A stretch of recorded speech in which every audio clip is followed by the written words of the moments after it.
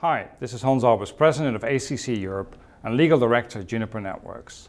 This is 90 seconds on the rise of legal operations in Europe and how ACC will play a role in supporting this development.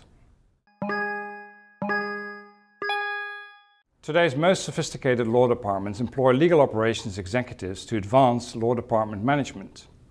Last year, our survey showed that 47% of legal departments had at least one legal operations member in their staff and this percentage continues to grow.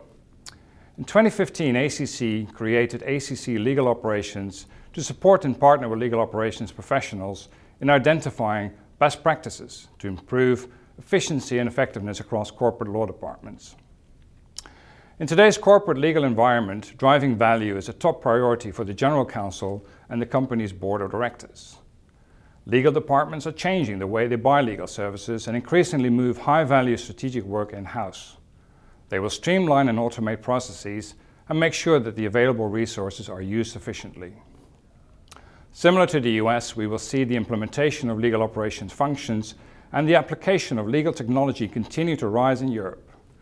ACC Europe will support and drive this development through dedicated events and programs.